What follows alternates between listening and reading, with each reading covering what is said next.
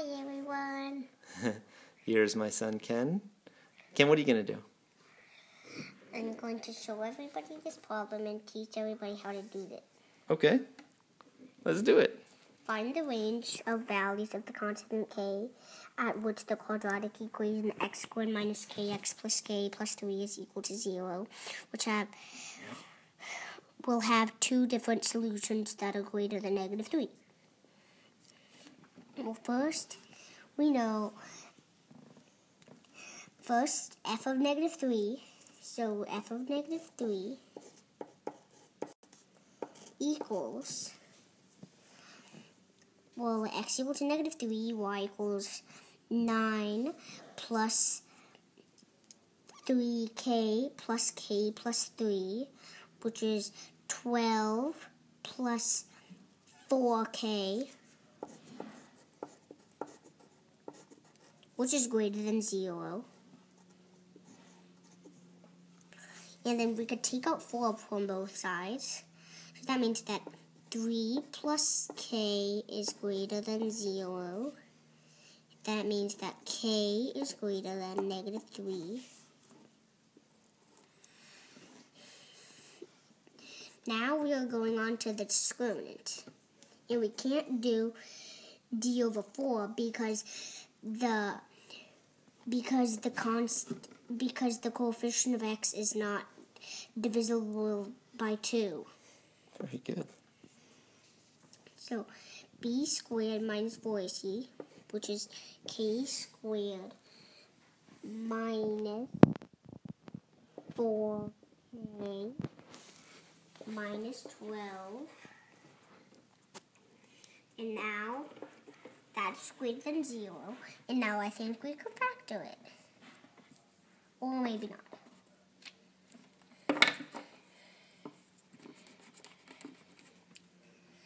Well, what times 12 equals 4? Um, negative 6 and 2, or negative 4.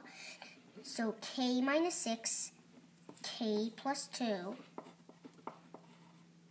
times k plus 2, which is greater than 0, equals, well, if the polynomial is positive and the discriminant is positive, then x is less than the smallest root, x is less than negative 2, and x is greater than 6. So now we've got two points, actually three of them, k is greater than negative 3, k is less than negative 2, k is greater than 6. We just need one more from the axis of symmetry. And we all know that the axis of symmetry is negative b over 2a. So the negative b over 2a, k over 2 is greater than 0, which is just k is greater than 0 because we times everything by 2, we get rid of the denominator, and anything times 2 is still 0. Now we can draw the graph.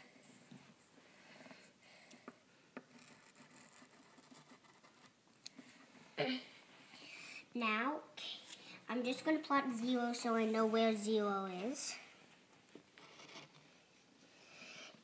Now, k is greater than negative 3. Negative 3. And it goes that way.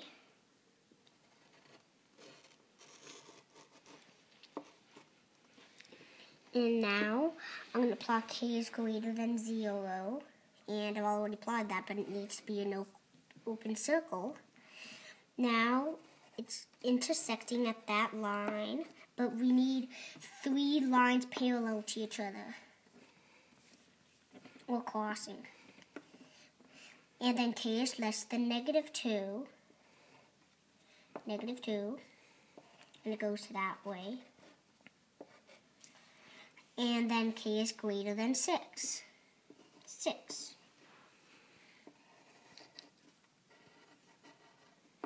And now we saw that there's three lines right there. And they're all greater than 6. So now k is greater than 6. Now we are done with the problem. Excellent. Is that correct? Oh, um, uh, you got part of it right. Let's see what happened. K is less than negative 2. k is greater than negative 3. Looks like you plotted it all correctly. That looks right. It said k is greater than negative. I mean, k is less than negative two. Um, K is greater than 6. k is greater than six, and then negative three is less than k. Oh, uh, k is greater than negative 6? Is that? No, k is k. is greater than Yeah, but it says k is greater than negative 6 over there. Where? Oh, well, that's the one, but this is in the final one. Yeah, that's the final answer. Hmm. Let's see. Or Um, maybe I just um, did it wrong. well, let's see. Discriminant. Maybe I just thought it Um, wrong. let's see. K squared minus 4k Oh. minus 3. Oh, minus 12. You got that right. Uh, that's positive. Negative k minus 6, k plus 2. That's correct. Maybe 0 must moved over here and then it could go right here and then there would be three lines crossing over here. Seems like you maybe got everything right. Negative 2 is supposed to go that way. Let me see this. Okay, so this is the answer key. Let's see. So K is um ah here's the mistake. Uh, what the axis of symmetry? That What- was symmetry is negative over 2 way. Yes, and where where what do we know about it? Um, that. Oh, it's negative Well, less than 0. I mean, what what do we uh, what do we know about the axis of symmetry? Where is it? it's to the right of negative 3. Yes. Oh, greater than negative 3. That's right. That's right. Now, I don't know where the axis of symmetry is. It was you did the k is greater than zero was the. Uh, so what's the axis of symmetry? Now, the axis of symmetry is negative b over 2a, which I've already figured out, but I forgot it. Is just k over 2. Then k over 2 is greater than negative 3.